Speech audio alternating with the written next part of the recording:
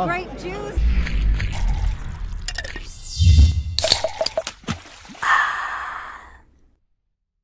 Samuel Eni here for that grape juice, and as you can see, I'm at the BFI Waterloo, and we're about to see Ant Man. Oh, I'm excited! The MCU is back, and I'm about to be on a red carpet, or should I say the purple carpet, getting some one-to-one interviews. So make sure you lock in and stay tuned.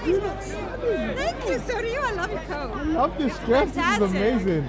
That Uh, grape juice Yes, is all over of you. course, of course. I'm Yeah. happy to have you here. Welcome to London again, Thank of course. Um, it's so exciting to have Ant Man back. Yes. How does it feel to be involved in it? The Ant World, the MCU, all of it. Tell It's, us how it was. it's, it's so cool to now be sort of central to the story of the MCU. We've always been kind of outliers in the in the gang, you know, and so it's really nice to be in the middle of the launch of the fifth, fifth phase and to be introducing Kang the Conqueror, who's just a formidable villain, and it's great. We're having a great time. There's a lot of buzz surrounding this installment. What can the audience expect from this particular one? Um, it's big, it's epic, it's much more um, sort of dark, and there's some heavier moments than a typical Ant-Man film, but there's also still the levity that you're used to from our brand. There's still the sweet family moments. It's still wacky and bizarre, which is what you need. Thank you so much for your time you. and have a lovely night. Cheers.